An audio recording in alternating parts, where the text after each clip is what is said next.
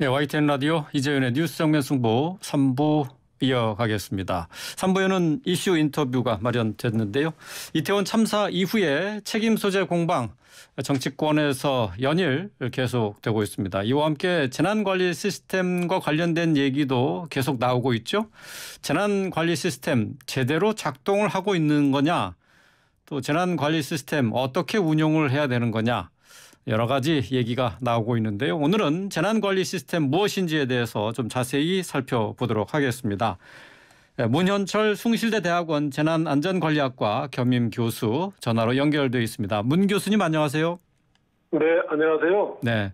자, 우리나라 현재 운영 중인 재난 재난 관리 시스템 어, 어떤 계기로 언제 만들어진 거죠? 네. 현재 우리나라의 그 재난관리 시스템을 근거하고 있는 예. 이 시스템은 어, 2003년 2월에 대구에 지하철 참사가 있었습니다. 예. 이 대구 지하철 참사를 계기로 어, 당시의 재난관리 시스템을 검토해 보니 여러 가지 그 작동상의 문제가 있어서 네. 재난관리 시스템을 재설계했습니다. 그것이 네. 바로 재설계하고 수정하고 포함해서 어, 자연재난과 사회재난을 하나의 재난으로 묶어서 어, 음. 어, 지금 현재의 시스템을 만들었습니다. 네. 이번 이태원 참사를 겪으면서 우리나라에 이 재난관리 시스템이 있는 거냐? 라는 의문이 들었는데 어쨌든 2003년에 대구 지하철 참사를 계기로 해서 만들어지긴 했군요. 그렇습니다. 한 20년째 운영하고 있죠. 예. 네. 자, 이 큰 틀에서 어떤 내용으로 구성되어 있는 거죠? 네. 예, 현재 우리나라 재난관리 시스템은 네. 당시에 말씀드렸던 2003년에 네. 만들어졌던 것이고 그 근거는 재난 및 안전관리 기본법이고요. 네. 이 재난 및 안전관리 기본법에서 대한민국의 재난관리 시스템을 세 가지 덩어리로 음. 세 축으로 구성해 놨습니다. 세 축으로 예. 예. 하나의 축은 재난이 발생하기 이전에 음. 에, 에, 관련 부처들이 다 모여서 논의하는 안전관리위원회이고요. 음, 예. 예. 두 번째는 실제로 재난이 발생할 우려가 있거나 실제로 재난이 발생했을 때 작동되는 재난안전대책본부이고요. 예. 세 번째 기둥은 참 재난이 발생했을 때 인명 구조를 전담하는 소방이 맡고 있는 예. 긴급 구조 통제단이라고 하는 새 기둥입니다. 아, 긴급 구조 네. 통제단. 예, 그래서 예. 중앙에는 중앙안전관리위원회 그다음에 한 기둥, 중앙 재난안전대책본부 한 기둥, 중앙 긴급구조 통제단 한 기둥, 음. 이세 기둥이 기초, 광역, 중앙 이렇게 3단계로 올라가도록 되어 있습니다. 아 그렇군요. 그러면 네. 기초 지자체에서 안전관리위와 관련돼 있는 활동을 해야 된다 그런 건가요? 그렇습니다. 어. 재난이 발생하기 이전에 기초 지자체 장 중심으로 기초 지자체 안전관리위원회가 가동이 돼야 되고요. 네. 여기에는 어, 기초 지자체 내 13개 실무반 플러스 외부의 경찰, 소방, 네. 한전, KT 전부 다 참여해서 음. 미리 재난관리 시스템, 재난의 예방 대비 대응 복구 시스템을 점검, 검토, 심의하는 것이고요. 네. 이제 실제로 이렇게 이번에 이태원 참사처럼 매우 위험한 상황이 막 벌어지고 있고 어떤 징후가 나타날 때, 네네. 예, 지금 뭐 어떤 큰 재난이 발생하려고 할 때, 음. 그리고 이미 큰 재난이 발생해버렸을 때 예. 재난안전대책본부 기초지자체 재난안전대책본부가 가동이 되는 겁니다. 음, 본부장이 기초지자체장이고요. 예. 아, 앞에 말씀드렸던 안전관리위원회 위원장도 기초지자체장입니다. 음, 예, 네. 그렇군요. 이게 그리고 이제 예. 긴급구조 통제단은 예. 인명구조를 전담하는 긴급구조 통제단은 소방이 전담하고 있습니다. 아 그렇게 구성이 네. 돼 있고 이렇게 시스템이 구축돼 있어요. 예. 근데 이, 이게 이번 이태원 참사에서는 작동하지 않았다는 거잖아요? 알 수 없는 일인데요. 예. 네, 알수 없는 일인데, 네. 에, 과연 어, 참 재난이 발생하기 이전에도 이런 그 용산구 안전관리위원회가 네. 열렸는지도 이제 참 의문이고, 음, 근데 음. 그건 놔두고라도 네.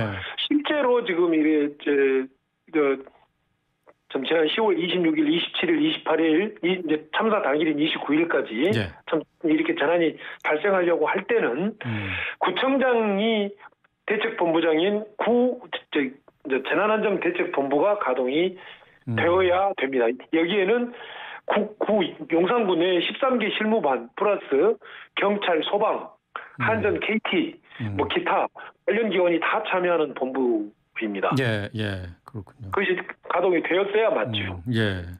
법에서 그렇게 하도록 강제하고 있습니다. 음, 그렇군요. 네.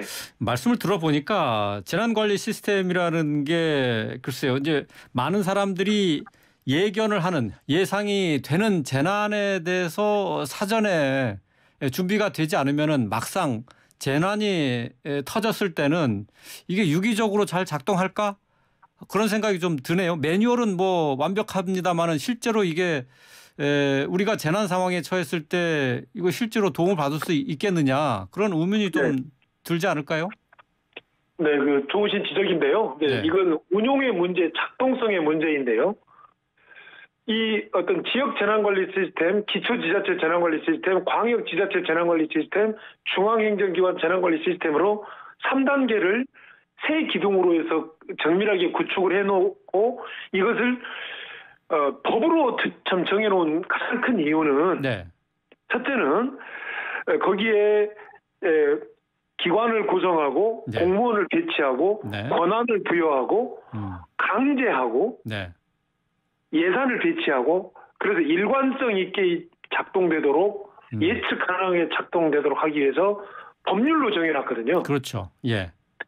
자 그렇다면 이 법률로 정해진 것을 여러 시, 여러 채널을 통해서 그것이 작동되도록 하고 있는데 네. 그 작동이 안 되었다라고 하는 것이 음. 참으로 안타까운 일이다라고 하는 것이고요. 음.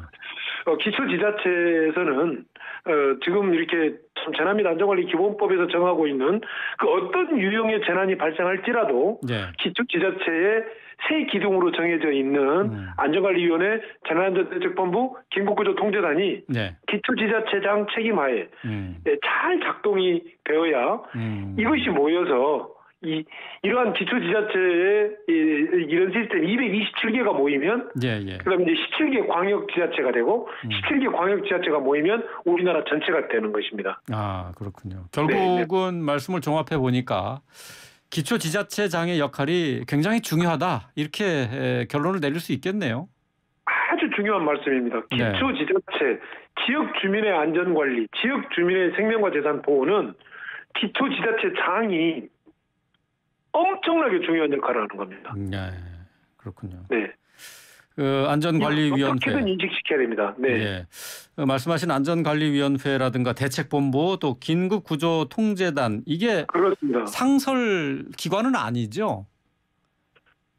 상설 기관이 아닐지라도 예. 그것을 예. 구축해 놓고 그때그때 가동해야 될 상황들이 있습니다. 그러니까 여기에 대한 대비는 돼 있어야 되고 각각 담당자들이 임명이 돼 있는 상태인 거죠, 그래도. 그렇습니다. 음. 그렇습니다. 그 구성 멤버들이 다 정해져 있습니다. 아 그렇군요. 예. 그러니까 이때 그러니까 긴급 예. 상황이 발생했을 때 이제 이런 어, 각각의 책임을 맡은 사람들이 어, 제 몫을 해줘야 되는데 그렇습니다. 이번에는 그게 안 됐다는 게 명백히 드러난 게 되는 겁니까? 뭐 이제 에, 지금 이제 조사가 시작됐기 때문에 네. 그 조사의 기준은 법이 정하고 있는 일들, 법이 정하고 있는 있는 그런 하나하나의 시스템 가동 해야 될 역할, 음. 작동 이런 것들을 정밀하게 체크하겠죠. 예, 예. 그러니까 예. 법 밑에 있는 시행령, 그 밑에 음. 있는 시행 규칙. 음. 그다음에 그 이외의 여러 지침과 규정들이 이제 총 동원이 돼서 작동이 됐느냐. 예. 이제 그걸 체크를 하겠지만은요. 음. 참 믿어지지 않을 만큼 이게 작동이 안 된 것처럼 지금 언론 보도를 보면 예, 예. 어, 이렇게 느껴점칩니다. 예. 자 재난 관리 시스템 자 앞으로 이태원 참사와 같은 어, 참사가 다시 발생하지 않기 위해서 어떤 점에 중점을 두고 살펴봐야 된다고 어, 생각하시는지요? 네. 어, 현재의 재난관리 시스템은 그냥 만들어진 것이 아니라 앞에서 네. 말씀드렸던 것처럼 대구 지하철 참사라고 하는 뼈아픈 에, 우리 그 경험과 교훈을 통해서 재난 및 안전관리 기본법이 만들어졌고 그렇게 재설계된 것이 대한민국 재난관리 시스템이고 네. 이 대한민국 재난관리 시스템은 세 기둥이 3단계로 기초, 광역, 중앙 이렇게 음. 세 기둥이 3단계로 만들어져 있다 이렇게 말씀을 네. 드렸는데요. 예. 가장 중요한 것은 어떤 외국의 제도들을 어떤 뭘 논하고 외국의 제도 것을 언급하기 이전에 현재 우리가 만들어 놓은 우리의 경험 속에서 만들어진 이 시스템이 작동되도록 하는 것이 가장 음. 중요하고요. 예, 예. 이것을 작동하도록 하기 위해서 뭐 국가안전 대진단이랄지 음. 참 재난대응 안전한국 훈련이랄지 참 재난관리 평가랄지 음. 뭐 각종의 그 그런 그런 그 작동을 위한 재난관리 시스템 음. 작동을 위한 여러 제도들이 음. 가동되고 있는데 예. 그것이 잘 되어야 된다라고 하는 것이고요. 음, 예. 궁극적으로는 지역 안전 문화입니다. 음. 지역 안전 문화. 예, 예. 이 지역 안전 문화는 또 관공서 혼자 할 수가 없습니다. 예. 어, 지역 주민들이 이 그 불편을 감수한 음. 안전의 확보라고 하는 지역 주민들의 생각, 즉 음. 좀 불편한 것이 좀 불편한 것이 나의 안전을 확보하는 것이다라고 하는 불편을 감수할 수 있는 시민들의 생각이 좀 필요하고요. 예. 또 불편을 감수한 안전을 집행하기 위해서는 음, 음. 시스템을 가동시키기 위해서는 지역 주민들의 불평 불만이 나올 수가 있습니다. 예. 그럼에도 불구하고 용기를 가지고 우직하게 음. 예, 이런 그 불편을 감수한 안전의 확보라고 하는 에, 저기 재난관리 시스템을 작동시킬 수 있는 행정가의 용기 예. 이두 가지가 동행할 때 예. 지역 안전 문화가 아, 확보된다 예. 이렇게 생각이 됩니다. 알겠습니다. 재난과 관련해서 재난 안전 관리와 관련해서 제도가 아, 제대로 마련되어 있지 않아서 생기는 참사가 아니다 그런 얘기가 그렇습니다. 될 텐데요. 실제 에, 작동 여부에 대해서 면밀히 에, 검토를 해봐야 되고 또 안전 문화도 우리가 좀 뒤돌아 봐야 된다 하는 지적이 되겠네요. 예, 그렇습니다. 오늘 말씀 여기까지 듣겠습니다. 고맙습니다. 네, 감사합니다. 네, 숭실대 문현철 교수였습니다.